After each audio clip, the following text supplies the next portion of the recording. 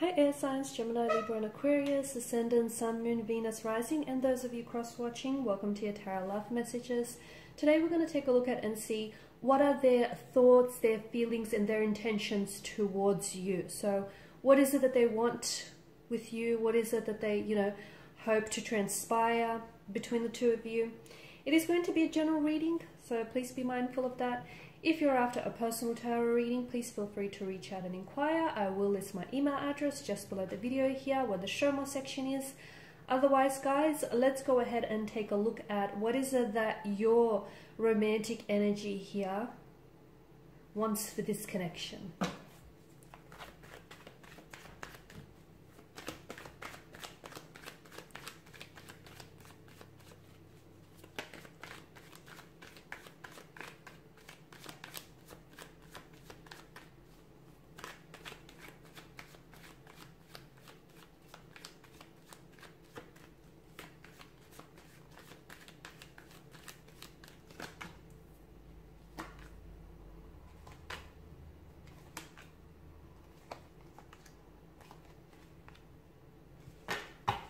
bottom the deck you have the ten of cups um, and i believe it was water energies who also have the ten of cups so there may be some sort of um, connection there. Okay so some of you may be dealing with a uh, a water sign. A pisces a cancer a scorpio here.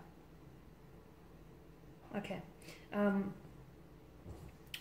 this is essentially what they want with you okay? This idyllic ten of cups scene okay however this I feel like is what's going on with them or what's going on between you and this person, this whole connection here. So that's interesting. There is, you know, right now your connection or your energies are under the influence of a tower moment. And a tower moment is very unsettling. It's very chaotic. It's essentially something that has thrown your world upside down. Okay. Um, so there's that storm and what they're hoping is to get that rainbow at the end of the storm here. Okay um, that light at the end of the tunnel. So they're hoping that the two of you can really overcome whatever difficulties or challenges that are presenting itself in the connection here. I feel like with the Ace of Swords, this person wants to do a lot of communicating, but to me, it almost feels like something or someone is blocking their energies, or perhaps they are holding themselves back from truly speaking their mind. I feel like this is someone who wants a lot of clarity there's so much confusion here with their energies and they want to ask you questions um, and they really want to get to the bottom of things. I feel like this is someone who also wants to express his or herself, but they just can't seem to find the right words.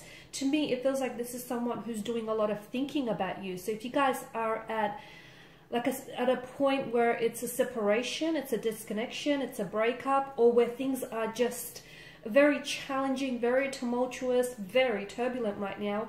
Um, and you guys may be separated by time and distance or by some sort of disagreement or a fallout or a breakup of some sort. Um, this person wants to, they want to get close with you again.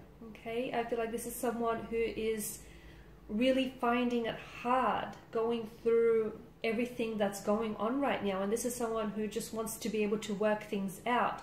But to me, it feels like they just don't know how to do it, which is challenging in itself because they want to talk, they want to tell you how you, how they feel, they want to fix things, but they don't know how to do it. And every time I feel like they try to fix it, they just make it worse here.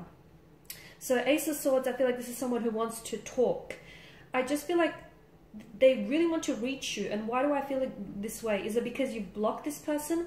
Is it because you've not been responding to this person? Because I feel like this is someone who really wants to communicate here, but there is some sort of blockages. Maybe you haven't been answering, taking their calls or their messages here. Uh, maybe you blocked them on social media platform because it's almost like there's this barrier and they're not able to reach you. This person does care about you, the Queen of Pentacles.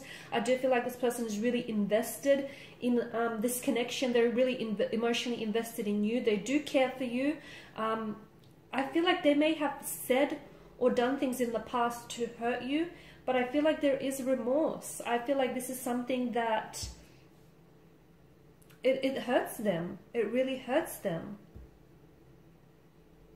So whatever it is that they might have said or done here in the past, I feel like this person is really, they're carrying the weight of that guilt and that hurt now. Okay, so it hurts them to know that they've hurt you this way here. There's quite a lot that's going on here, guys. There's a lot that's going on here. The tower, I feel like to them it feels like everything is falling apart. Like if you guys have broken up or if you guys are, uh, you know, are arguing or a disconnect of some sort, to them it's affecting everything else. It's affecting their social life, their work, they can't think straight, they can't eat properly. Like, it's just, they're a mess. They're an emotional wreck here. They're not doing well without you, and they're not coping well either. So, I also feel like, and I say this every time the Tower card appears, but I feel like it's it's always true. You know, there's a reason why something you know has come up to the surface here. So whatever it is that has caused your tower moment here, there's a reason why. Because essentially, I feel like it's trying to, you know, lightning strikes, it hits the tower here, the occupant, the occupants flee the tower here, the tower crumbles. Okay, so it's a chance to renovate because essentially, you know, the crumbling tower is creating space for you to build something new. So this lightning to me its light is illuminating perhaps shadow aspects of your individual energies or shadow aspects of the relationship so you can work on that because the longer you ignore a mounting issue i mean it's only going to worsen okay and it's only going to heighten. So that's why you need to address that issue and not pretend it's not there or not think about you know dealing with it later. It's better that you do it sooner. And i feel like the both of you had maybe certain issues or challenges that presented itself in the connection, but you guys didn't necessarily do a lot to address it. And this is why you have the tower moment. Essentially, it's the universe saying, hey, you guys, you can't go on like this anymore. You know, you want to work on this relationship. You got to fix this. You got to fix whatever it is that's making this tower so faulty here. Um, a lot, I feel like with the Five of Wands, this person is very fearful that you have other people that are interested in you. They know you're beautiful. They know you're attractive. They know, you know, you're a stunner here. And this person, well, they're a little bit jealous, okay? They're a little bit jealous, a little bit possessive here. And um, basically they're shaking in the boots because they know that, you know, someone could just easily snatch you up, especially, you know, if you're, um, if you guys are, have gone, you know, are going through a breakup or if you guys aren't talking, they know that you could just easily find someone else and that's what they fear okay? There's a lot of it's bringing out a lot of fear and it's it's really making them uneasy because they're scared of losing you. They may not easily say this to you but they are. This is someone who is scared of losing you. But this is someone who i feel like they're also fighting a war within themselves here honestly because it feels like this person has I feel like their intentions for you are good, but I feel like this person may have issues of their own.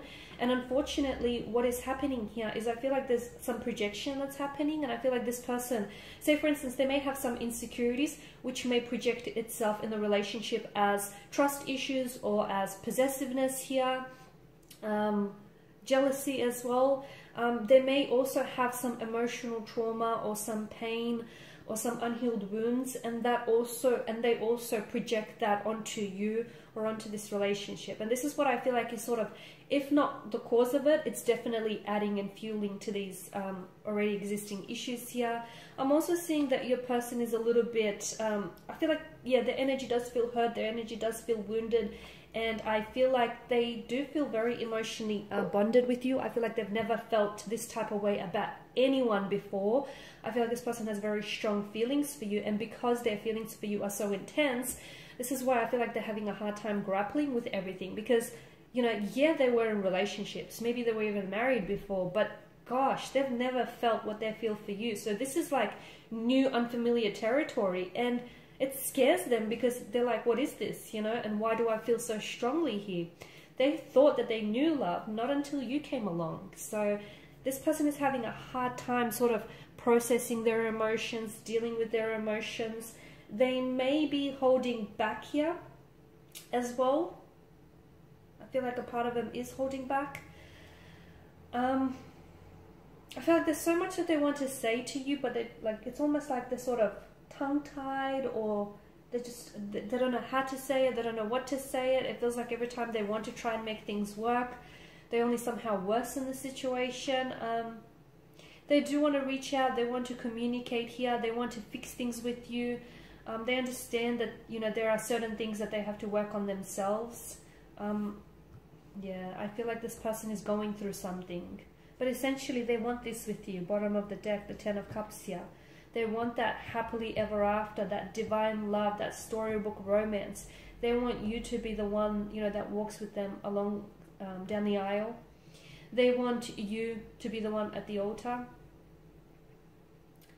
You know, they want to build a family with you, to build a home with you, maybe even have a family pet or two. They want it all with you. They want to watch all the sunrises and all the sunsets with you. They do. But I feel like sadly this person is just they feel so strongly for you, but they just don't know what to do with all of that emotion and how to express it if that makes sense. Okay, guys, and these are your messages. Thank you as always for watching and listening. Please show your support by liking, sharing, subscribing. If you're after a personal reading, please feel free to connect. Otherwise, bye for now.